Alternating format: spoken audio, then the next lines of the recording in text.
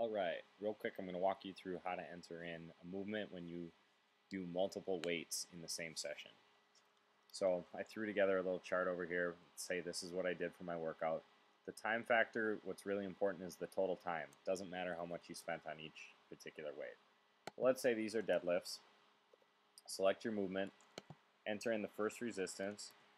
This is going to be one set of five reps in 10, 10 minutes total time for the uh, the entire movement. Click Add, and then simply change the weight and the sets and reps, leaving the time and the movement the same. I'm going to do this a couple times.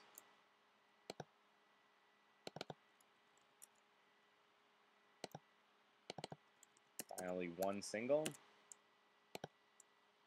And if you click View Session, you'll see that it averaged out your resistance based on how many reps you did at and at each weight, and does the total volume and density over the entire uh, movement. It's that simple.